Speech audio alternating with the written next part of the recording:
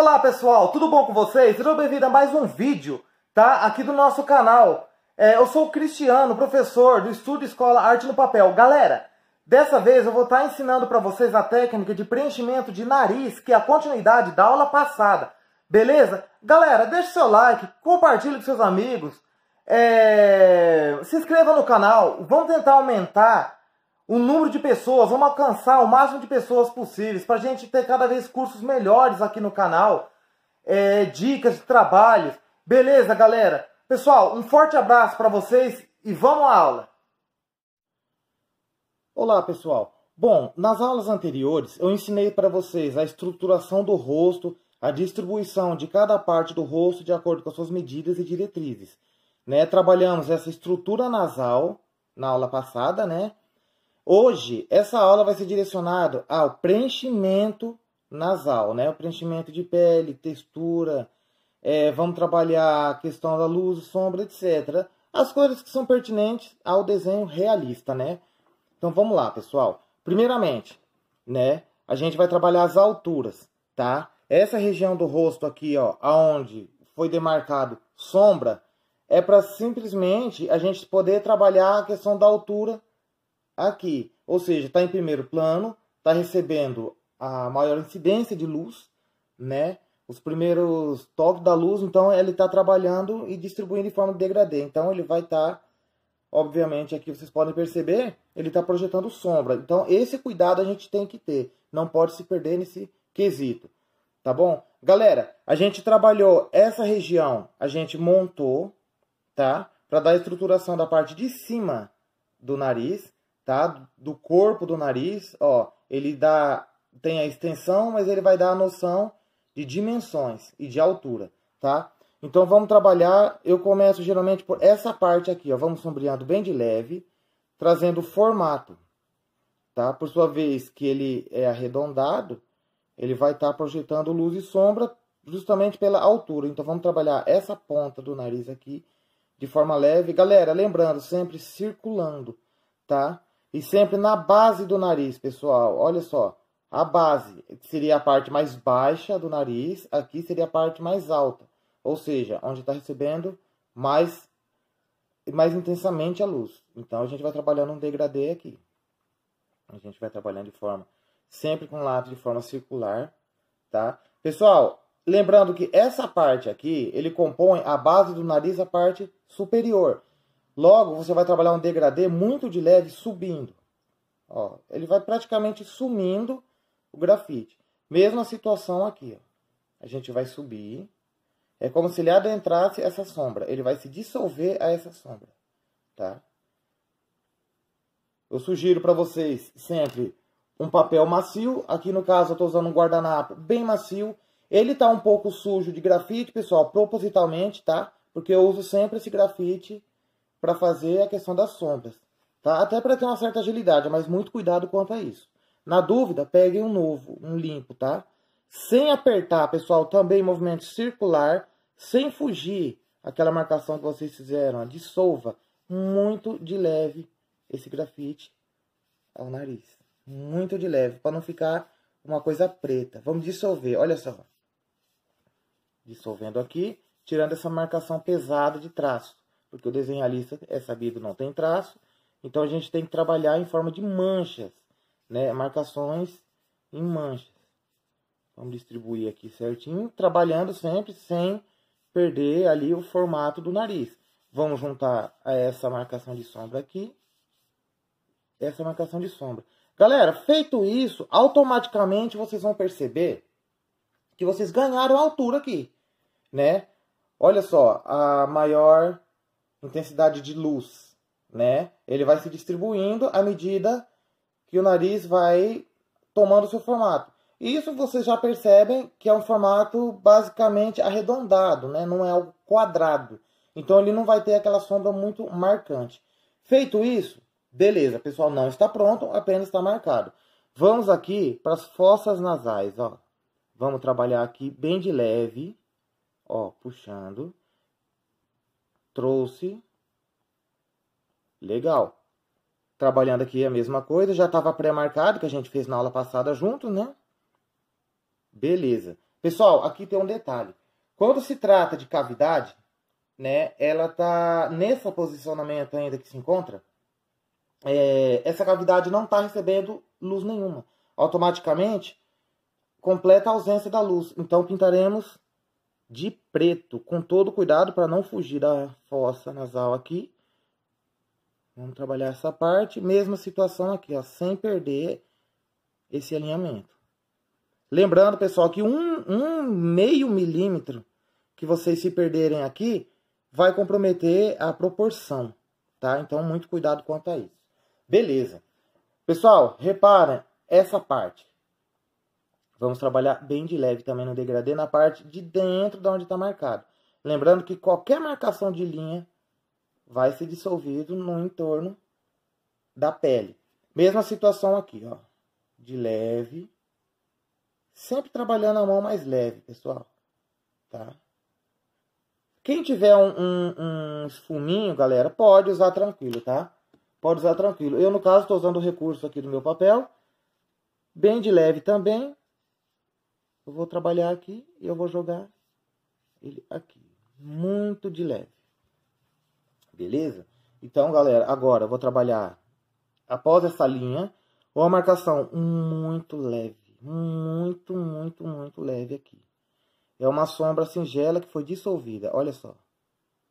Eu vou jogar essa marcação aqui. Ela vai me dar... Ela será uma diretriz em forma não linha dessa parte, né, dessa região da boca, né, é, que vai se dispor, é, que vai anteceder o lábio superior, tá? Beleza, galera. O que, que vamos fazer agora? Expressão, tá? Essa pessoa, vocês reparam que ela tá na expressão, ela tá séria, né? Tá até meio que inexpressiva. O que, que vamos fazer, galera? Dessa parte do nariz até mais ou menos a altura da boca, mais ou menos, galera, Vamos puxar uma linha reta, mas muito de leve. É só para marcação, ó. Tá? A mesma situação aqui, ó. Vamos puxar muito de leve. Legal. Só para marcarmos, porque a gente precisa que essa região esteja construída para dispor o nariz de forma correta em relação aos parâmetros do rosto, né? Legal, pessoal. Agora vamos começar a trabalhar as sombras mais pesadas. Por quê? Qual a finalidade de você trabalhar a sombra mais pesada? É justamente você dar mais altura e formato, digamos, né? E trabalhar assim a, a luz. Sempre que você trabalha sombra, galera, automaticamente você está trabalhando luz, tá? Então vamos puxar, ó, a partir da linha das sobrancelhas, ó, muito de leve circulando também. Vocês reparam que é um trabalho em conjunto, pessoal. Uma, um, é, uma parte depende diretamente da outra. Então a gente precisa trabalhar esse fator, tem que tomar muito cuidado. Ó, uma linha mais marcada aqui, na região da pálpebra, né? Vamos trabalhar aqui uma profundidade. Vamos deixar assim? Não. A gente vai jogar um pouquinho para dentro, mais leve, ó. Bem de leve. Bem de leve e trazendo para dentro do nariz. Essa parte do nariz aqui, pessoal, ela é um pouco mais alinhada à testa. Então, ela vai meio que perdendo altura, digamos assim. Mesma situação aqui, pessoal. Mesma situação. Você vai fazer. Quem tiver dúvida, ó, sugiro até, ó, pode passar um, um, um, um, traço de leve, uma, faz uma linha de leve. Até mesmo para vocês não se perderem na questão do formato, né, ó. Para vocês verem a angulatura. Aí vocês trabalham da mesma forma de forma, pessoal, a tentar não perder a simetria do rosto, tá? Para o rosto não ficar um rosto torto. A gente sabe que na realidade, né, nem todo mundo é simétrico, completamente simétrico. Mas a gente no desenho, a gente quanto mais a gente se preocupar com a simetria, melhor. Mesma situação, dissolvendo um pouquinho para cima atrás, trazendo um pouco mais a linha das sobrancelhas. Ó, vamos trabalhando esse aspecto aqui tá? Lembrando, pessoal, a gente não está trabalhando olhos, muito menos sobrancelhas, tá? Depois do preenchimento parcial do rosto e depois do preenchimento total, a gente vai se adequar e trabalhar, que eu vou ensinar para vocês arremates. O que são os arremates? É a hora que você vai corrigir aqueles mínimos defeitinho, aquelas pequenas falhas que são muito pequenas, mas que no conjunto da obra acabam sendo percebidas, tá? Então vamos trabalhar aqui, ó, trazendo para dentro, para dentro, até quase elas se juntarem, ó. E trazendo uma forma triangular para baixo. Trazendo, trabalhando sempre dessa forma. Trabalhando aqui, jogando, ó, um trabalho em conjunto, né? Vamos puxar aqui, puxou. Lembrando, pessoal, tem algumas marcaçõezinhas que tá pouco visível aqui, ó, vocês viram, ó, pontinho, né, ó. Pontinho, um traço, linha diretriz bem de leve. Eu resolvi não apagar, até mesmo para deixar, né, para vocês terem a percepção do que eu tô fazendo aqui e da, da onde, que parte eu tô trabalhando. Tá, ó, muito de leve aqui. Essa ponta do nariz é sabido que ela é mais arredondada, né? A gente vai trabalhar a sombra aqui também, ó, muito de leve, deixando ali com muita, muito pouco grafite, muito pouca distribuição de grafite, tá? Que a gente costuma dizer contaminação, né, pessoal? Mas é uma contaminação do bem, tá? Agora, vou vir com o meu papel aqui. Vou dissolver dentro do que eu trabalhei aqui, jogando sempre um pouquinho para dentro do rosto. Não muito, tá, pessoal? Para não ficar aquela marca preta. Aonde a gente não trabalhou grafite aqui, eu vou trabalhar simplesmente sujando um pouquinho. Tá? Trouxe para fora aqui. Mesma situação, mesma situação. Procurar sempre trabalhar, pessoal, o olho, o rosto, perdão, é dividido em dois polos, né? Então você sempre vai estar trabalhando os dois polos. Tá? Dissolve um pouco mais aqui. Vocês reparam que aquela marcação que a gente fez não ficou assim tão forte, né? Ó, eu vou dar uma, uma marca muito de leve aqui para trabalhar essa altura novamente. Porque aquele que a gente é, é, aquele grafite primário que a gente colocou, ele foi dissolvido. Agora é um pouquinho mais forte. Mas quando eu falo pouquinho, pessoal, pouquinho mesmo. Tá? Porque o que a gente precisa ter aqui é percepção e não marcação dura. Tá? Agora, dissolvo novamente, dissolvo novamente. Olha o efeito que dá. Vocês entenderam? ele quase, se vocês sabem trabalhar a, o esfumaçar do grafite, a distribuição do grafite de forma correta a área que vocês estão desenhando, vocês quase terão a textura de pele pronta aí, tá? Pelo menos uma diretriz visual vocês já vão ter, uma noção, tá? Beleza, trabalhou, vou dar uma, uma suavizada, digamos, né? aqui para dar essa altura. Essa parte, pessoal, eu vou dar uma levíssima trabalhada de sombra. Muito de leve aqui. Mesma situação aqui. Beleza. Nunca se esqueçam, galera. Não esqueçam de esfumaçar essas partes que vocês marcaram. Porque isso vai tirar um pouco do realismo do seu desenho. Caso ele fique, não fique, se ele ficar muito à mostra. Ó, essa parte muito de leve, vou passar por cima para dar aquela escurecidinha. Vou trabalhar circular em volta dessa linha, dessa ponta do nariz que ficou um pouco mais clarinha. Ou seja, brilhosa, né? É, teve uma emissão maior de luz. Recebeu a luz, né? Bacana. Agora, o que, que eu vou fazer aqui, ó? vou trabalhar... Lembra daquela linha que a gente puxou aqui? muito de leve, eu vou emendar, iniciar amassando o rosto aqui, somente iniciar, porque queira ou não, ela tá partindo do nariz, né?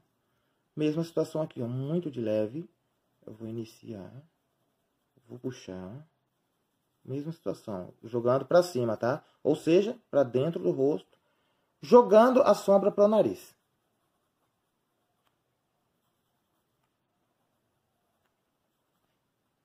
muito de leve aqui, pessoal. Olha só.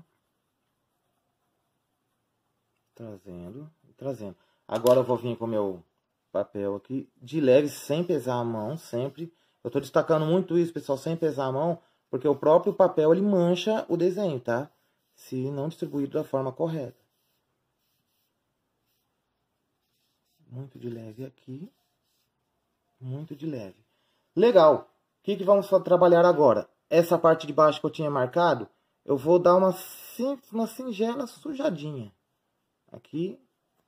Ó, mesma situação. Somente para unir a lateral aqui, ó, da fossa nasal, do seu nariz. Tá? Tem muita gente, pessoal, que tá fazendo, decorrer do desenho, vai, passa o dedo. Dá certo, de certa forma, só que cuidado, pessoal, porque o nosso dedo, normalmente, ele engordura um pouquinho, tá? E isso vai prejudicar na hora de você fazer um esfumaçamento é, de forma suave, porque automaticamente essa gordura da mão vai manchar. Porque o, o mínimo de umidade o grafite ele impregna. Então ele vai ficar uma mancha preta. Muito cuidado, tá? Aqui eu sugiro vocês pegar uma parte limpa do papel, tá? Aqui sem grafite de preferência. Suavizam para espalhar somente aquele grafite ali. Nesse caso, vocês não estão distribuindo grafite a ele. Vocês estão espalhando aquele que já se encontra. Legal. Galera, eu vou lançar a mão aqui da minha borracha Mono Zero, tá? Eu uso a 2,3, tá? Vou trabalhar ela aqui. O que, que eu vou fazer, pessoal? Essa parte de baixo do nariz aqui é pele, pessoal. Pele tem brilho, pele ela reage. Então, o que, que eu vou trabalhar?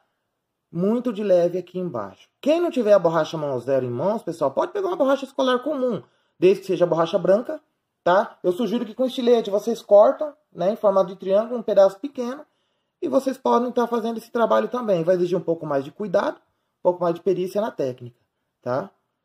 Ó, feito isso, dei um pouco de brilho, eu vou vir com o meu papel, novamente, um pouquinho sujo. Tá vendo essa marcação?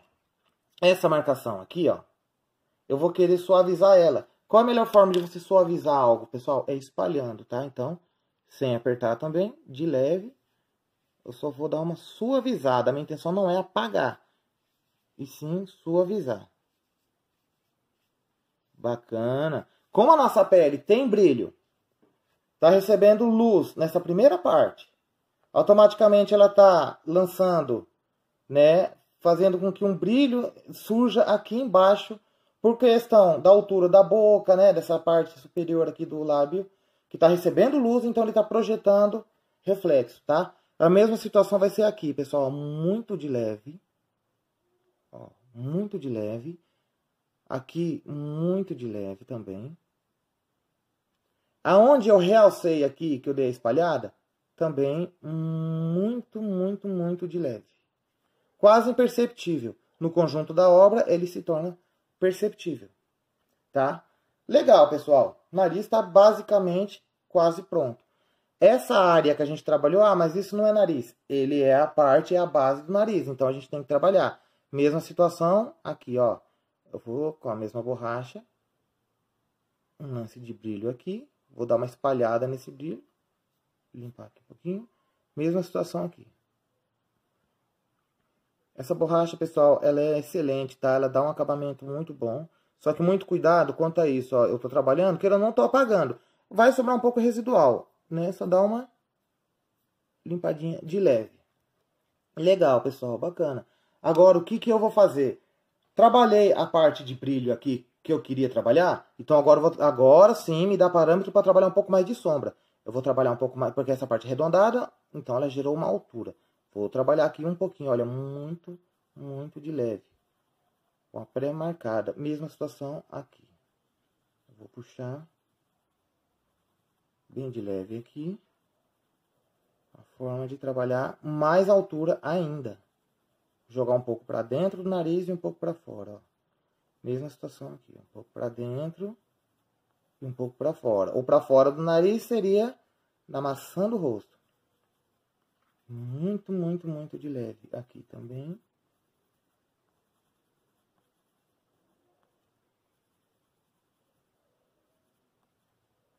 Ah, professor, mas vai apagar o que foi feito na questão da luz. Não tem problema, porque você vai voltar lá e você vai retocá-la. Ela foi para me dar um parâmetro, porque a, a, própria o próprio preenchimento ele vai me dar essa noção, tá? Então agora eu vou jogar sempre circular para dentro, circular para fora, trabalhando sempre em conjunto, circular para dentro, circular para fora. Lembrando, pessoal, essa parte alta do nariz eu não vou trabalhar. Simplesmente as suas laterais. Para fora. Puxou um pouquinho. Mesma coisa aqui. Mesma coisa aqui, só para tirar, para fazer um degradê mais completo, né? Para a gente tirar aquela noção de excesso. Agora eu volto aqui com a minha borracha. Vou voltar aqui, né? Onde fatalmente se perdeu. Mas agora eu venho da forma diferente. Eu venho já espalhando um pouco mais. Espalho um pouco mais. Jogo para dentro aqui. De forma que ele emende com a sombra lá de baixo. Tá? Você pode também, querendo trabalhar uma textura, você pode fazer uma espécie de pontilismo na parte mais brilhosa, tá? Onde tem mais luz. Isso vai dar uma noção de textura. Mesma coisa aqui, a gente vai subindo meio que linha reta, dá uma espalhadinha somente aonde se encontra luz. Vamos dar uma suavizada aqui onde a gente já tinha trabalhado. Lembrando, pessoal, repara que toda parte que você trabalha de luz, ela vai enfatizar a sombra. Vice-versa, tá? Vamos dar aquela trabalhada aqui bem de leve também. Lembrando, muito cuidado. Tem a diferença, pessoal, de desenhar a luz e você ah, simplesmente apagar o sombreamento. Tem muita diferença. Muito cuidado quanto a isso. Beleza, pessoal? Então, o que eu queria mostrar para vocês de preenchimento nasal era isso. Preenchimento do nariz era isso, tá? Na aula seguinte, para não ficar tão grande, não estender, e também a gente fazer por partes, que é melhor, pessoal. Vamos fazer o preenchimento de boca, lábios, tá? Finalizando essa parte, a gente vai trabalhar a estruturação do rosto, porque eu já vou querer trabalhar com vocês a estruturação que eu digo do preenchimento, porque a gente vai trabalhar o preenchimento de forma estrutural e também já trabalhando de forma que a gente vai estar tá, vai tá trabalhando a textura de pele, de acordo com luz e sombra também. Legal, pessoal? Então, um forte abraço para vocês. Fiquem todo, todos com Deus. E até a próxima aula, até o próximo vídeo. Deixe seu like, pessoal. Curtam, compartilhem esse vídeo. Tá? Se inscreva no canal. Vamos fortalecer para que esse trabalho seja... O canal seja fortalecido. E assim a gente tenha muito mais aulas para vocês aqui. Tá certo? Então, pessoal, até a próxima.